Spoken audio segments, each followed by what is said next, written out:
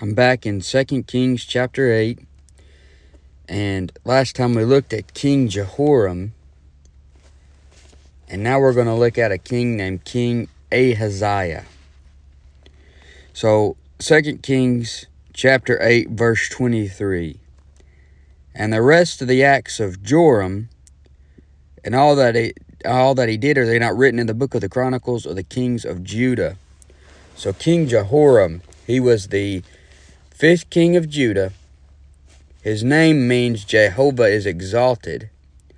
His length of reign was eight years. Spiritual state, evil.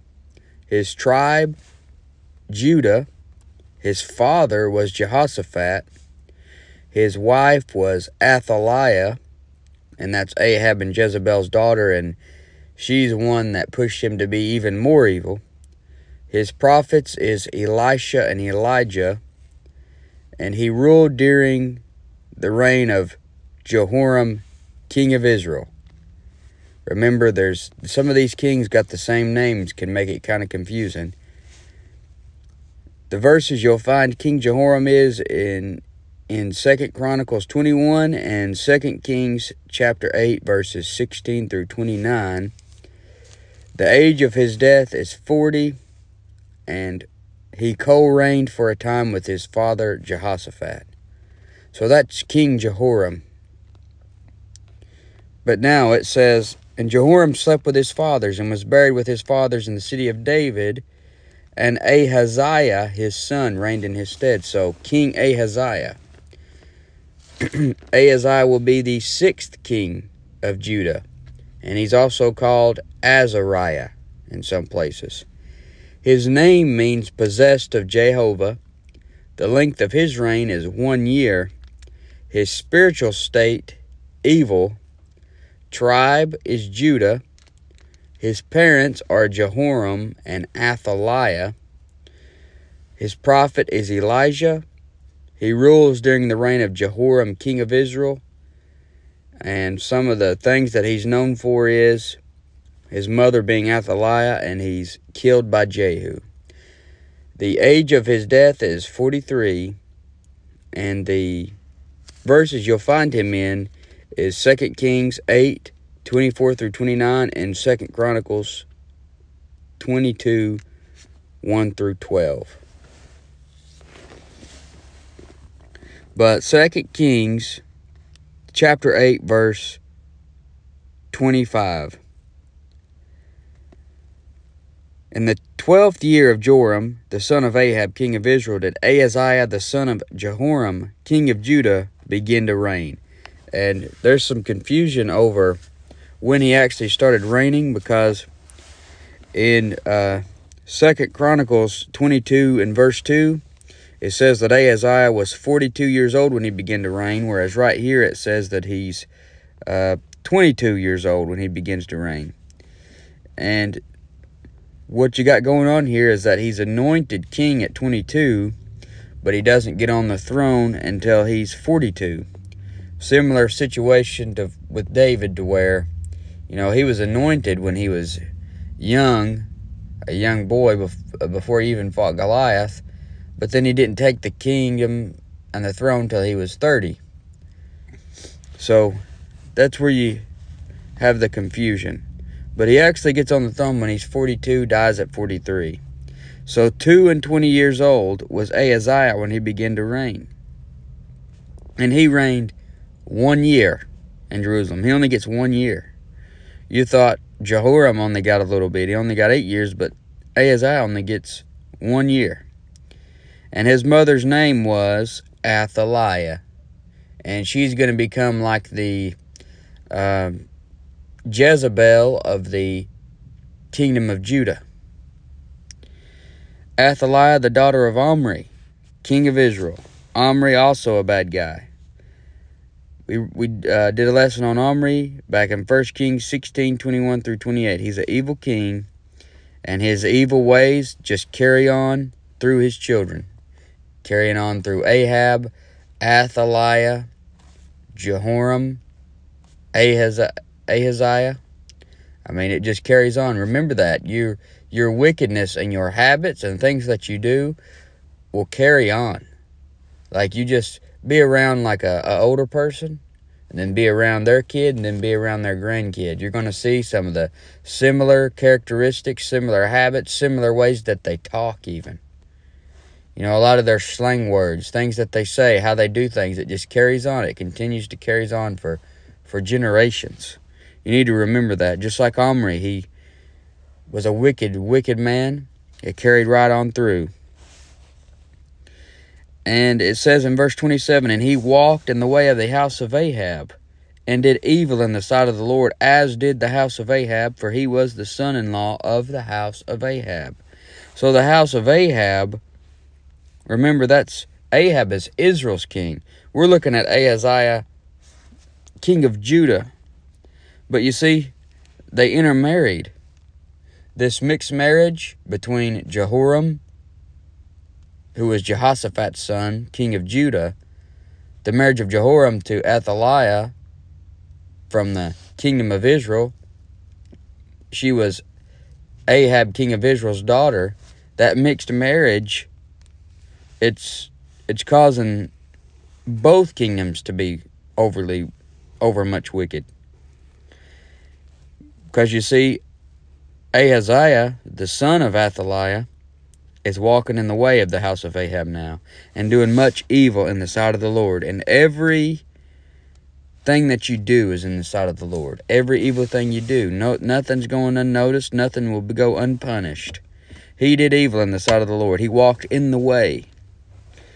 He walked in the way of the house of Ahab. And there's a way that seems right to a man, but the end thereof are the ways of death. The Bible says the way of transgressors is hard. He's going a hard way. And he's going to find out soon.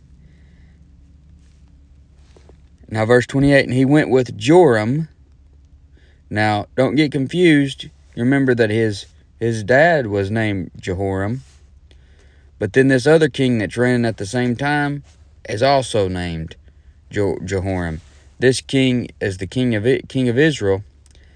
And once again, you got a an alliance with Judah and Israel when Israel is beyond wicked. And it's just leading uh, Judah further and further down the wrong road. And he went with Joram, the son of Ahab, to the war. You know, you don't want to go to war.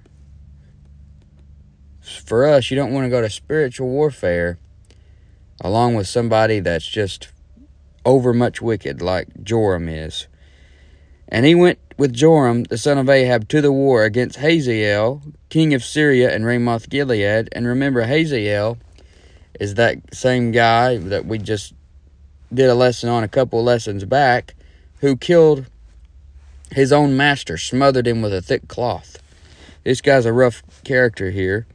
Went to war against Hazael, king of Syria and Ramoth Gilead, and the Assyrians wounded Joram. And King Joram went back to, to be healed in Jezreel of the wounds which the Syrians had given him at Ramah when he fought against Hazael, king of Syria. So he's wounded, he's going back to get healed up. And Ahaziah, the son of Jehoram, king of Judah, went down to see Joram, the son of Ahab, in Jezreel because he was sick. So he's going to see the king of Israel. I mean, they're related, they're like uncle and nephew, and they've got an alliance together. And it just works out perfectly because they're going to be in the same place at the same time for God to bring judgment on them. And God will do that in the Bible. You'll see at the second coming, all the kings are going to gather together in uh, the tribulation time period. At the end of the tribulation time period, you're going to see the kingdoms gathered together so that when the Lord Jesus Christ comes back, he can just wipe them all out right there.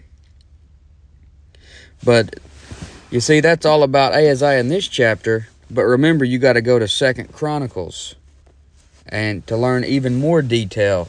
So that's where we're going to go is in Second Chronicles. So Second Chronicles chapter 22. And this is where we'll look at a little outline for Ahaziah. And I'm going to call this Ahaziah's downfall. Second Chronicles 22. And next to Second Chronicles 22, I wrote Second Kings 8. That way I'll know where it talks about Ahaziah and kings. I don't have to remember it. I just got it wrote. I'll just have it wrote down. So it says in Second Chronicles 22 and verse 1, And the inhabitants of Jerusalem made Ahaziah his youngest son king in his stead. So Ahaziah is going to take Jehoram's spot. For the band of men that came with the Arabians to the camp had slain all the eldest. So Ahaziah the son of Jehoram, king of Judah, reigned. So his brothers were killed, and he was just the last one left. Maybe not even the best one, but he was the last one left, so he had to take the throne. And now here's where it says 40 and 2 years old. So in the in 2 Kings 8 it said he was 22. Here it says he was 42 years old when Ahaziah when he began to reign. So most likely it's a situation to where he was anointed king at a younger age but didn't actually take the throne until 42. And he reigned one year in Jerusalem. His mother's name also was Athaliah, the daughter of Omri. And uh, this can cause confusion for some people sometimes. I don't think it's that confusion. But you see, um, she's the daughter of Ahab, granddaughter of Omri. It goes Omri, Ahab, Athaliah. And it just doesn't call call her granddaughter or doesn't call people grandson or granddaughter. For example, like when you read the genealogies in Matthew chapter 1, it calls Jesus Christ the son of David, the son of Abraham. He would be, you know, the great, great, great, great, great, great, great grandson. It doesn't say all that. It just says, it'll just call him the son, or in this case, the daughter of, even though it was her grandfather. So although she was granddaughter of Omri, it calls her the daughter of Omri. There's no error there. That's just how it does it.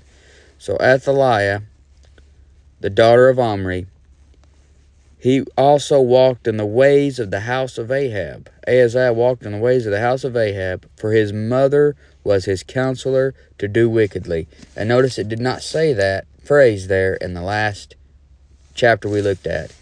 It did not talk about how his mother was his counselor to do wickedly. Notice how it gives these great little details. That just, when I see a sentence like that, it just jumps off the page at me. I get so many thoughts from seeing his mother was his counselor to do wickedly. And that's what we're going to talk about Ahaziah's downfall. The first one, the first thing is Ahaziah is a mommy's boy. You see that there. His mother was his counselor to do wickedly. Where did she come from? The house of Ahab. She was raised horribly by Ahab and Jezebel.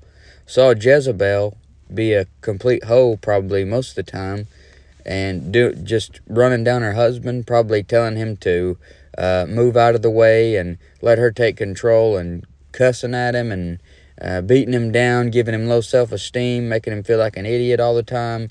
Uh, you don't want to do that if you're a woman. Uh, don't continuously uh, run your husband down. Don't continuously badmouth him, trying to take complete control of the situation, being like a the uh, spiritual leader of your home and being full of the unholy spirit as you're the spiritual leader. That's most likely what Jezebel was doing. That's what Athaliah was doing in her home, most likely. And, you know, if you're a mother, you want to train up your child in the way he should go. You want to be like Timothy's parents. Timothy's Timothy's mother. You know, he was from it said uh, Paul talked about Timothy. He said, "From a child thou hast known the holy scriptures." I doubt Athaliah was teaching Ahaziah the Holy Scriptures at a young age. It says his mother was his counselor to do wickedly. That's crazy when your mother is your counselor to do wickedly. You see, you got uh, mothers today who, I mean, I pulled up next to a, a, a woman and her daughter and young daughter in the car, and they were listening to some type of music that had some uh, girl rapper saying all kinds of cuss words, talking about sexual related stuff right there in front of her daughter. I mean, that's being a mother counseling her daughter to do wickedly by just by living that way in front of her. So for his mother was his counselor to do wickedly. And I, that reminds me of Psalm chapter 1 and verse 1. It reminds me of that chapter there in Psalm 1 where it says, Blessed is the man that walketh not in the counsel of the ungodly, nor standeth in the way of sinners, nor sitteth in the seat of the scornful. But his delight is in the law of the Lord, and in his law doth he meditate day and night. Blessed is the man that walketh not in the counsel of the ungodly. But look at what Ahaziah did. He also walked in the ways of the house of Ahab, for his mother was his counselor to do wickedly. He walked in the counsel of the ungodly. And that was his downfall. He was a mommy's boy. He must have been doing everything mommy said. She must have been reigning through him in a way. Wherefore he did evil in the sight of the Lord, like the house of Ahab. This is verse 4. For they were his counselors. Notice it says that again. The, the house of Ahab was his counselors. So, you know, um, book of Proverbs, Proverbs 11 14, it says, In the multitude of counselors there is safety. However, that's taken for granted that you know the right kind of counselors to have if you've got a multitude of good Bible believing counselors, maybe your parents are Bible believers, your pastor's a Bible believer, your uncle's a Bible believer, you got older friends that are Bible believers, and a multitude of counselors, there's safety. But when your counselors are Athaliah and the house of Ahab, uh, there's not safety there. That's the ways of death. Wherefore he did evil in the sight of the Lord, like the house of Ahab, for they were his counselors. So he was a mommy's boy. And the next thing, Ahaziah's downfall is his multitude of wicked counselors. You see, you've got all these people in your life that are always giving you advice. Like I hear, uh, I go to work, I hear people tell me to do certain things that are, they're much older than me, but yet I'm finding that all their advice is completely unbiblical. They may be uh, 20, 30 years older than me, and very much wiser than me in so many ways. But when it comes to certain things, they're giving me the wrong counseling, the wrong advice. Athaliah, these other people, most likely are most likely way older than Ahaziah, but they're giving him the wrong counsel. Just because somebody's older doesn't mean they're always going to give you the right counseling. And you got to learn the Bible to learn if they're giving you the right counseling if they're telling you the right thing. They're not telling him the right thing, so it's leading him down a path of destruction. It's leading to his downfall. You know, most people um, don't read the Bible. Most people didn't grow up reading the Bible, so even though they may be up in their, you know, in the years where they should be starting to be able to really teach somebody something in their 50s and 60s, they don't have nothing to say that's biblical. They spend all their time doing other stuff. Now they have no wisdom. You know, the, the gray head is a crown of glory if it be found in the ways of righteousness. But it's a sad thing, most of the gray haired people today are not found in the ways of righteousness, and they're counseling wickedly. If you got a multitude of counselors, you're going to have safety if these counselors are giving you righteous counsel. But that's not the case here. It says, He walked also after their counsel. In verse 5, He walked also after their counsel and went with Jehoram, the son of Ahab, king of Israel. Now remember, this Jehoram is not the Jehoram that's his dad, it's the other Jehoram that's the king of Israel. This Jehoram is the son of Ahab, his father Jehoram was the son of Jehoshaphat. He walked also after their counsel and went with Jehoram the son of Ahab, king of Israel, to world war against Hazael, king of Syria, at Ramoth Gilead. And the Syrians smote Joram. And he returned to be healed in Jezreel because of the wounds which were given him at Ramah when he fought with Hazael, king of Syria. And Azariah, the son of Jehoram, king of Judah, went down to see Jehoram, the son of Ahab at Jezreel, because he was sick. So he's Azariah, which is Ahaziah, is going to see Jehoram, king of Israel. And the destruction of Ahaziah was of God. You see that? In verse 7, and the destruction of Ahaziah was of God. Ahaziah was a mommy's boy walking after the counsel of Athaliah. He had a multitude of wicked counselors, and he made the hit list. The destruction of Ahaziah was of God. He's he's on God's hit list. It says by coming to Joram, for when he was come, he went out with Jehoram against Jehu the son of Nimshi, whom the Lord had anointed to cut off the house of Ahab. And that's the guy we're going to talk about next time. This wild character named Jehu. Yeah, I think he's a really underrated character in the Bible. You don't hear much about him. He's pretty much the Lord's hitman. And Ahaziah going down to see Jehoram while he's sick is of God. The whole thing's of God because that puts him right where he needs to be for the Lord's hitman Jehu to knock him off. And it says, notice that phrase. It doesn't say this in 2 Kings 8. It says, and the destruction of Ahaziah was of God. You know, it was of God for him to be destroyed. And God destroys people. God kills people in the Bible. God raises up somebody to kill people in the Bible. But you get so much detail from Second Chronicles. Second Chronicles really focuses on these kings of Judah, whereas Kings focuses on the kings of Israel primarily. And you just don't want to forsake reading Chronicles. You know, it's the the devil's uh, put in people's mind that Chronicles is boring. He puts in certain even uh, preachers and teachers' mind that it's boring, and then they tell you that it's boring. Actually, it's not boring at all. Uh, there's no there's no part of it that's boring. I mean, you, if you don't like the names, I mean that's one thing. But you there's the it's not just completely names. There's some parts that's just giving you names and stuff. But for the most part, it's these great little stories and these great little phrases that really lead to all this truth and can lead to so much uh, teaching and preaching for somebody to give you. And uh, how does somebody run out of things to teach or preach is beyond me because, I mean, just these little phrases like his mother was his counselor to do wickedly, that leads to so many little thoughts and can go so many ways. You just don't want to forsake reading about these kings. Read them, read about them in Second Kings, and then find it where it talks about them in Chronicles and read about it there because it's going to give even more detail. But you're going to see in the next lesson, Ahaziah and Jehoram are going to be killed by the Lord's hitman, Jehu. That's who we're going to talk about next time is Jehu.